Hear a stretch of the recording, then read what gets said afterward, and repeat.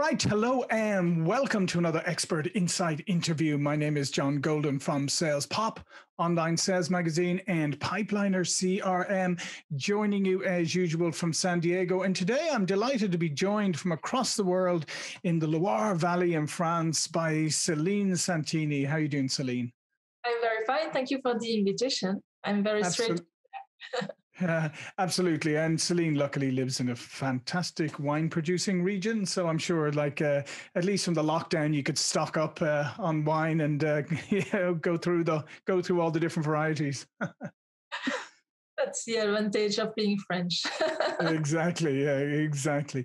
So Celine's an author of 20 books published in 10 countries and a coach in personal development, art therapy, blogger, illustrative children's books, and uh, and so many more. I could go on and on. Celine, you're a terribly busy person. and today, uh, and today we're going to talk about kintsugi and and the art of resilience. So um, let's dive straight into it, Celine. So kintsugi is a Japanese word, um, obviously. So maybe just explain where the or how you first came upon this and what it means and and how it uh, impacts. So maybe I can start by explaining what is kintsugi. Yep. uh, um, so as you said, it's Japanese art. It's actually from the 15th century, and it used to be uh, just an art uh, to repair um, objects which have been broken. Uh, and they had this clever idea. Instead of hiding the scars, they said, "What if we uh, underline the scars with real gold. So um, that's the idea of kintsugi. It's, thinking out of the box uh, instead of trying to to hide, to display, to show. And obviously, it's a powerful metaphor. That's what is very interesting in kintsugi is that it's not just an art; it's also a metaphor for life and also, of, obviously, for resilience. And of course, during these days, with the lockdown and everything, the pandemic uh, situation, uh, the re- resilience uh, uh, notion and word and mm-hmm. philosophy is very important. So um, let me show you uh, so that people understand it very quickly. Yep. This is a normal ball, you know, and this is the same ball, but kintsugi, kintsugi processed. So that means that this ball have been broken and repaired with real gold. And obviously, this ball was interesting, but this one now is unique. You know, the idea of mm-hmm. behind kintsugi that you have been broken, but it can actually be an opportunity. It can be a chance uh, to, and you have to embrace your scars instead of uh, trying to hide your own history. Yeah, no, that's that's really interesting because obviously the natural instinct is to bury things and hide them away and try and present the most perfect uh, profile or image that you can to the world. So what you're saying is, in actual fact, what makes you far more interesting and and more, I would say, you're more real is when you when you actually embrace the things that have maybe impacted you, maybe the things that have broken you per se, and you bring them to the fore rather than hiding them. Exactly. Um, well, you, you just summarized very right uh, the philosophy behind. Um, there's this kind of motto of Kintsugi, which is uh, perfectly imperfect, and that the the idea that uh, uh, you um, you are not perfect but uh, since you have been repaired with gold you have you have chosen actually the most precious metal in the world to to repair yourself so the metaphor here it is to to to underline that you actually deserve to put gold on your scars. Uh, so it's really a philosophy, uh, a very optimistic philosophy. Uh, the idea is what does not kill you makes you stronger you know this very mm-hmm. famous quote but it's really kintsugi um, kintsugi minded um, the idea that you are um, stronger uh, once you have been repaired with the kintsugi method but you are also uh, more precious because it's gold and obviously mm-hmm. more beautiful and more interesting it shows you also the the unicity of your own path uh, because every, uh, everybody has been broken in a different way. Uh, and now the idea of Kintsugi that we assume that we are unique in the world. Yeah, I, and I guess um, for a lot of people watching or listening, uh, they may think, okay, sounds good, but how do I start, you know, how do I start even uncovering the things that maybe are broken? Because sometimes they're not always obvious. And then how do I accept them and, and allow myself to, if you like, to make them public as opposed to keeping it all under wraps? Well, um, there's something very intimate about uh, showing your scars. Um, you, it's actually displaying yourself. It's exposing you. Uh, mm-hmm. Word in French, when we say expose, expose, it means exhibit, like an, an, exhibit of art, but it also means exposure, like um, showing your vulner- vulnerability. So I think that uh, Kintsugi is about uh, embracing, as you said before, your vulnerability, and and actually it has uh, two um, two advantages. First, the fact that you um, feel repaired, the fact that you show to the world uh, that your kin- your own kintsugi, your own wants repaired. It's uh, it's part of your healing process and your resilience process. But the second uh, aspect of kintsugi is also inspiration, because uh, what I love about kintsugi is that you can show to the world, look what I've been through. But you know what? I have survived because you know everybody has survived uh, 100% of, of their uh, own wants you know so the fact that you show it you actually give inspiration for the people who are who may have have been at the first step uh, of the broken stage and and they need hope so if you say okay look what i've been through but uh, I've been through it and you can do it too. So that's very inspiring. So that's why I love Kintsugi. It's so, so powerful. Yeah. So how does somebody go about starting to repair themselves in this way and get ready to present themselves the new improved gold gold embossed you are you talking um, meta- metaphorically or uh, more practically because more, practi- more practically. Okay. Um, well, you've got uh, several solutions. You can start by just watching uh, the picture of a kintsugi, even if you don't uh, process one. just watching a kintsugi can actually heal yourself. That's actually what uh, you asked me at the beginning. I didn't answer how I got encountered to, with kintsugi. It's actually when I saw my first kintsugi picture. Um, by chance, I was reading in a magazine I saw the Kintsugi word and I typed Kintsugi on the internet and then I see this beautiful picture and in one moment, in one second, in one instant, uh, I felt like something was getting repaired in, inside myself. Um, I show you just an example of the kind of picture you can you can find. Um, so oh, you yeah. see, for instance, mm-hmm. uh, it's very it's very powerful, obviously.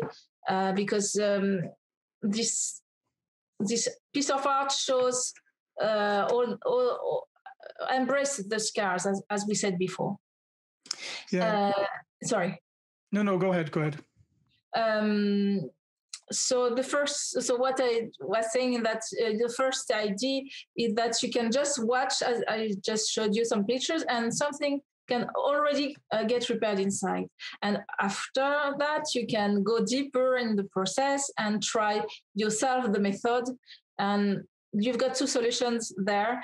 Uh, you can either try the real traditional kintsugi method, which is of course time consuming and quite demanding because it's a japanese art so you mm-hmm. have to take lessons etc but it's worth uh, of course uh, the the effort but you can also and uh, actually um, some people think it's not very um, stylish, but I think it's interesting too to do what they call faux kintsugi, fake kintsugi, with just glue and and and fake gold powder. I think the it's art, art therapy. And as long as it works, uh, I don't care if it's not real gold, uh, as long mm-hmm. as it's, it's symbolic for you and that and it repairs something deep inside. So people here have several solutions. You can also, of course, uh, ask a Kintsugi artist to repair a very uh, meaningful object that you have broken etc., etc. Several solution. You have to go to the one that you feel more um, most appealed to. Right. And then and then obviously when you go through this process, then you can start to apply it to your own self, right? Is exactly. I mean you start to realize that okay, if I can take this broken thing here and make it look good again and whatever and invest in it because it has some meaning some object that has some meaning to me now I can start to look at maybe there are pieces of me that are broken that I can start to reassemble. Exactly. Um, you, you mentioned something very important here. I um, when I first make, met Kintsugi, I was uh, amazed by the final process, the final object, and I, I could have stopped there. But when I tried the method and I started with the traditional one, um, I realized that actually each step of the repair is uh, in itself very meaningful too.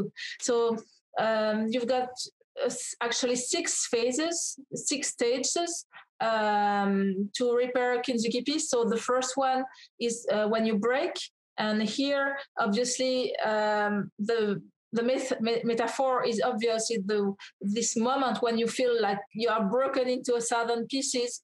Um, that's what that's when you decide to choose the Kintsugi method. So that's what, when you dis- you decide that you actually have value that you are mm-hmm. worth being repaired. So that's very important step. Uh, step one, break. And the step two is uh, the step when you assemble the pieces. So you start to gather the pieces like a three dimension puzzle and sometimes you know you might uh, have missed one piece you know or it's too mm-hmm. broken and here the symbology is that kintsugi will always find a solution because you can with the kintsugi method you can always replace the missing part whether you um, redo it or you can actually take it from another piece I show you an example because uh, mm. you will understand immediately what I, am talking about. I, I love this this um, piece oh, because yeah, yeah. it's been repaired with a turtle shell. Uh, so it's uh, like pottery plus turtle shell. So I think it's so creative. Um, and the idea here, uh, the met- metaphor is that you can actually uh, seek help uh, from outside when you get repaired. You don't have to stay uh, within just yourself. You can. Uh, you know, one plus one equals three, and not two. Yeah. And I guess I guess the other the other part of that too is just saying you don't have to build it back exactly the way it was before. Uh, you yeah. so you can bring in a different element into it, maybe something that was missing in your life that now by adding it in, you come out even stronger or more beautiful, as you said there with yeah, the piece of. But the beauty of Kintsugi is that it's so much more interesting than something like uh, processed or uh, you know doing on a big scale. It's uh, so unique. Um, mm-hmm. and after, if you want to go on with the metaphor, uh, all the other steps are interesting too because uh, there's the wait stage the one uh, because the, um, the lacquer they use needs like eight days to to dry so it's not like uh, super glue it's very right. it's very uh, it's very long and obviously, it reminds us that some things cannot be rushed, uh, whether it's physical, like a physical one, that uh, you would uh, move too fast, you, of course, you wouldn't heal, or it can be, of course, also emotional. If you move too fast, uh, sometimes it's too soon. So um, Kintsugi is here to remind us that too. So you see how symbolic it is. Um, and after that, the step four, which is yeah, just just before you go to that, though, I just wanted to um, uh, just go back on what you said there about wait, and I think that's a really incredibly important one here because we live in a world today where nobody has any patience. Everybody expects that's things right. immediately, yeah. instant gratification. So actually, teaching yourself patience and the ability to wait to see something done properly it's almost counter culture today but i mean it's it's incredibly important because as you say um, things when you're repairing things when you're making things better it, often it can't be rushed. Yes uh, uh i can't i can't agree more. It, you're right we are in a, an age we are not um, used to wait anymore uh, whether it's you know for ordering a movie we have got mm-hmm. it instantly or even a date we've got it instantly it's uh, it's amazing. But in a way um, it's it's it's amazing how this ancient art from the 15th century, which seems so old and old-fashioned, is actually uh, giving us uh, so vivid lessons. I I, I think it's uh, it's uh, thrilling, you know. Mm-hmm. It's like that uh, old saying, isn't it? The more things change, the more they stay the same. well, here they don't stay the same with Kintsugi. They change yeah. but, uh, very slowly. Yeah, but no, but I meant in that the wisdom, you know, that you can go through all these changes, but the underlying wisdom remains the same. Um, so your next your next stage is repair. That's right. Uh, so repair at this moment when they use a red lacquer and they put it on each uh, scar to uh, consolidate the repair and to watertight it. And uh, I think it's very interesting because uh, the fact that they use red lacquer here is also symbolic too because it reminds us of veins like uh, uh, you know the blood uh, flowing it's like the life is flowing back into the piece and mm-hmm. obviously symbolically speaking at the moment when we are almost there when we are uh, almost ready to live again you know to put uh, life back into our lives uh, so um, and after on, on this, this the step five is the the one when we um, um, so it's break, assemble, wait, repair, reveal. It's when mm-hmm. we reveal with the gold. So at last. so actually, um, the first time I met Kintsugi, I I, um, I was mistaken. I really thought it, they used like uh, melted gold. Uh, but they don't. They actually uh, use gold powder and they sprinkle the gold dust uh, directly into the red lacquer, and mm. these particles recreate the golden lines. And obviously, here the metaphor is this moment when you uh, embrace your scars, as we said before, and you reveal yourself to the world uh, like shiny and sparkling and uh, so so much uh, so proud of your scars. Uh, mm-hmm. Uh, but and and you could uh, stop here at step five, but there's a sixth step, like the secret sixth step I love, uh, which is the sublimate part. Uh, and it's it's actually it makes sense because you know it's gold we use and mm-hmm. even if it's gold powder it's still gold uh, and it's a metal so we can polish it we can burnish it. So they use a special tool and they burnish each line and each line shines even more and sparkles. And and that's the of course the symbology here is this moment when we are ready to show it to the world not just for ourselves but now to the world. The what we discussed uh, in the introduction mm-hmm. the fact that you can inspire other people Mm-hmm. And you can, and as you said, I mean, the part you can continue to improve it, like make it shinier, all of those things. So, it's a metaphor for yeah, you're introducing your your new self to the world, but you're not stopping there. Exactly, and the beauty with Kintsugi is that you can get broken again. Uh, it will be even more beautiful after. So you are not afraid anymore. Uh, mm-hmm. you, you're not afraid to you know to to go into the life uh, to you know to confront confront you to the real life you don't have to stay hidden in a cabinet you know mm-hmm. Yeah, no, I, I think that's a one a great place to finish too. I, I love that idea of the fact that um, you know you go through this process, and as you say, I mean, it's almost like as you march forward through life, you almost welcome uh, you almost welcome the things that try to break you because you think it's okay. I'm going to rebuild it back better anyway. Yeah, uh, well, it's, it's, a perfect conclusion indeed because Kintsugi, as as we said before, is such an optimistic message uh, that when you get this metaphor, um, when you know it, when you you can uh, infuse it in you, and now you feel more confident and stronger and more precious, obviously. Yeah, no, fantastic. Uh, listen, this has been fantastic and really great inspiration for people. Um, all of Celine's information is going to be below this video uh, with all the links. But before we go, please do tell people a little bit more about yourself and what you do. Um, you mean um, my writing? Yeah, yeah, just yeah, absolutely. Mm-hmm. Oh yeah, well, I uh, write about self-help in general, and obviously resilience in particular, uh, but also a lot uh, about um, um, um, positive education and meditation for children. That's another mm. theme I love. Yeah, yeah, I tell you, there's a lot of kids could do with learning meditation. That's for sure. Mm-hmm. Um, especially in the world that they're in today taking some calm moments would be would be very good yeah, yeah sure it's, you know it's good for the parents too. yeah yeah everybody wins. There you go. Um, well listen celine this has been fantastic. As i said all celine's information will be below this video. Um, my name is john golden SalesPOP online sales magazine Pipeliner CRM i will see you all for another interview very soon. Thank you. Thank you